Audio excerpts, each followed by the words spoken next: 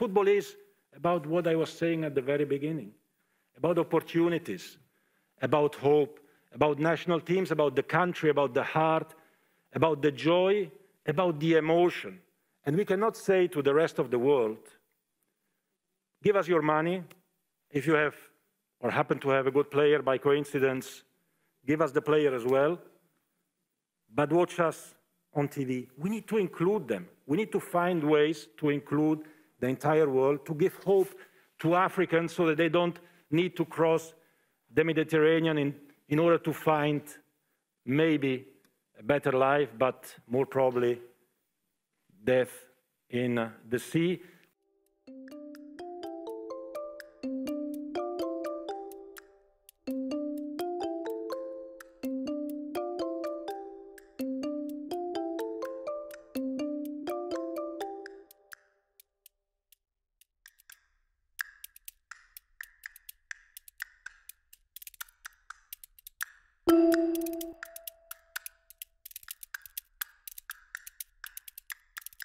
We need to give opportunities and we need to give dignity, not by giving charity, but by allowing the rest of the world as well to participate. Now, maybe the World Cup every two years is not the answer. We discuss it, we debate it.